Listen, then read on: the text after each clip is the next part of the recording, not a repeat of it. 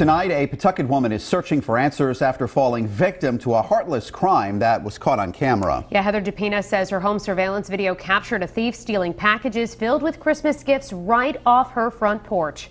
Eyewitness News reporter Kim Kalunian has the story now live from our control room. Well, Mike Shannon, they're called porch pirates, people who take packages right off your front porch.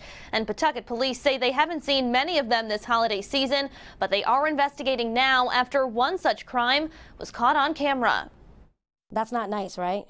Three year old Jamie is getting a lesson on how not to be naughty this holiday season after a thief made off with packages from his family's front porch that were meant to end up underneath their tree.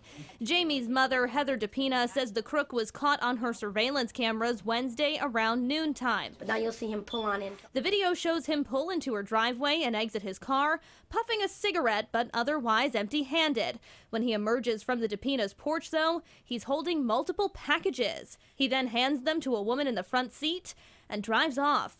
DePina says she knew something was amiss when she got a text Wednesday morning that her gifts had arrived, but found no boxes on her stoop. I come home 5:30, no package. Then she rolled back her surveillance tape and couldn't believe her eyes. Walked to the door, stole my packages, and off he went like it was, you know, not a care in the world. DePina says there was an iPad, shoes, and a blanket inside the boxes, nearly $400 in gifts. The iPad meant for little Jamie. I'm sad for him because now I know on the 25th he's not getting that.